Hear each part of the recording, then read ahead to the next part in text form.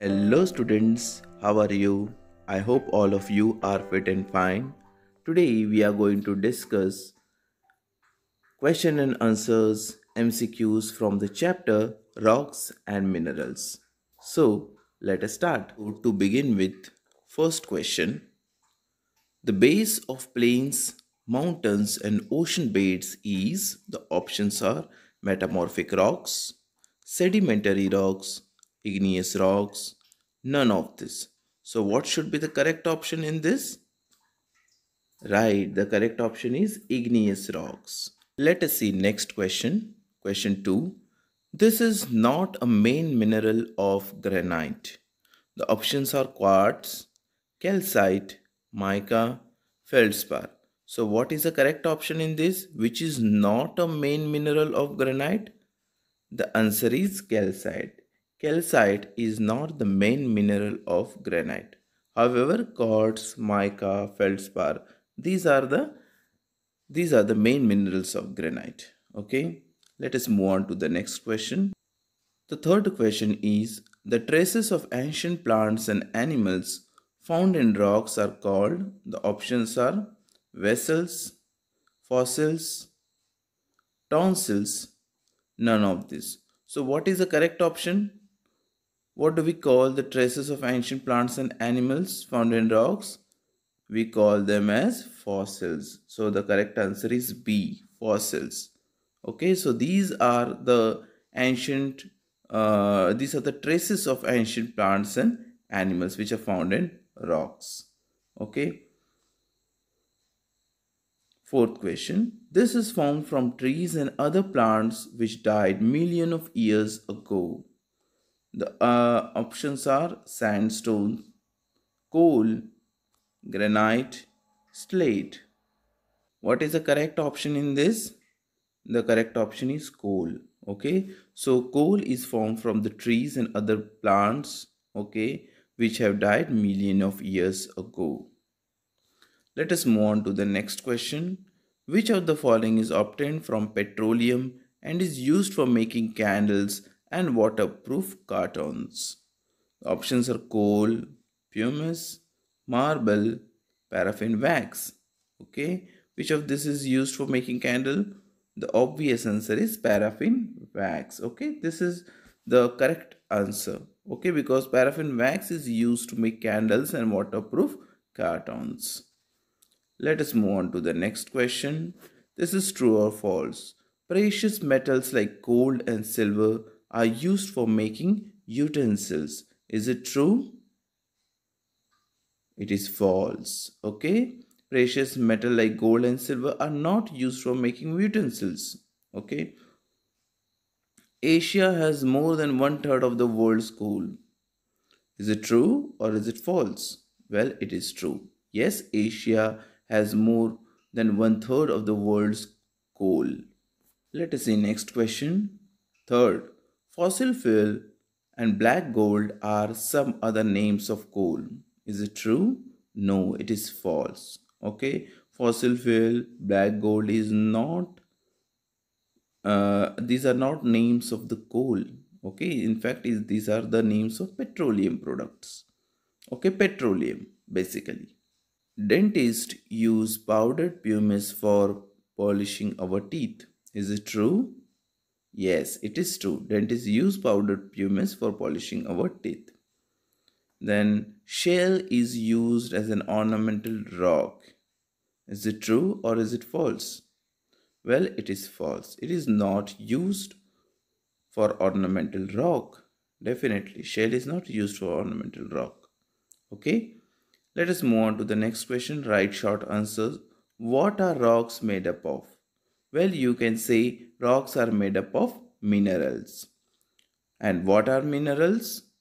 Minerals are natural, non-living substances. Okay, minerals are the building blocks of rocks. This is what you can answer for this question. So, what are minerals? Minerals are natural non-living substances and minerals are the building blocks of rocks. So these two statements you can mention as an answer for what are minerals. Let us see next question. What is slate commonly used for? What is slate commonly used for? You will mention slate is commonly used for making writing slates, blackboards and roof tiles of buildings. Name two valuable underground resources. You will write coal and petroleum are two valuable underground resources. I will repeat. For the question, name two valuable underground resources, you will write coal and petroleum are two valuable underground resources. The next question is, name any two places in India where coal mines are situated. Here you will mention Suhagpur, Madhya Pradesh, Dhanbad, Jharkhand are some of the places where coal mines are situated. Suhagpur, which is in Madhya Pradesh, and Dhanbad, which is in Jharkhand, are some of the places where coal mines are situated. Okay, so this is how you can mention answer for the question 5. Okay, let us see long answers now. How are igneous rock forms? Okay, how are igneous rocks formed? Here you will mention these are the solid rocks formed when the magma cools after being pushed upward towards the surface of the earth. They are formed due to cooling, solidification, and crystallization of magma either on the surface or in the interior of the earth. Okay, what you will mention, these are the solid rocks formed when the magma cools after being pushed upward towards the surface of the earth okay? So when the magma which is in the liquid form which is very hot when it is pushed upwards okay gradually it is solidified and it gets converted to solid rocks. They are formed due to cooling solidification and crystallization of magma either on the surface or in the interior of the earth. So solidification can happen at the surface also and in the interior of the earth also. Whenever it happens in the interior of the earth it happens under a good amount of pressure. So it can lead to crystallization also. Let us move on to the next question. What are ores? Name any four common ores. Here you will mention rock containing metals that can be extracted profitably are called ores. Example, hematite is an ore of iron. Other examples are bauxite which is an ore of aluminium. Pyrite is an ore of copper. Calamine are, is an ore of zinc. Okay, so these are the various ores of, of these particular metals. Okay. So, what are ores? Ores are basically minerals only. These are the, uh, what you can say, the rocks which contain the metals. But we can call them as ores only if that metal can be extracted profitably from the rocks okay? From the rocks. If you can extract profitably from the rocks okay? See otherwise if you have to invest too much of money into it but you are going to get very little from it okay? And you are not in profit. In that case you can call it as ore. It is simply a rock. Understood? Let us move on to the next question.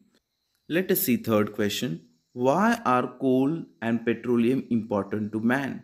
The question is why are coal and petroleum important to man? Here you will write coal and petroleum are important to man because coal is used to cook food and heat houses. Coal is also used to power houses to generate electricity and to run machines in factories. Then petrol and diesel obtained from petroleum are used to run machines and vehicles. Then plastic, paints, fertilizer, cosmetics are also obtained from petroleum. So these are the various uses and applications of coal and petroleum and this you have to mention under question 3. The next question is why is petroleum called a fossil fuel? Here you will write petroleum is called as a fossil fuel because it is found from the remains of the plants and animals in the sea over millions of years. The dead remains of these plants and animals got buried in layers for millions of years and gradually changed into oil and gas. Okay, so this is why petroleum is called as a fossil fuel because they have been formed over million of years out of the buried remains of plants and animals. Then write two uses of limestone. Okay, this is our last question for the day. Here we will mention it is used to make bricks and glass. Then it is used for separating metals from their ores. It is also used by scientists to study ancient life on earth. So these are the few uses of limestone. Okay, I will repeat it is used to make bricks and glass. It is used for preparing metals to separate metals from their ores and it is also used by scientists to study ancient life on earth. Well, students, that was all from my side. I hope you have understood the information shared in this video. We have discussed MCQs, true or false, short answers and long answers from the lesson rocks and minerals. So next time we will be discussing new chapter. So until then, take care. Bye bye.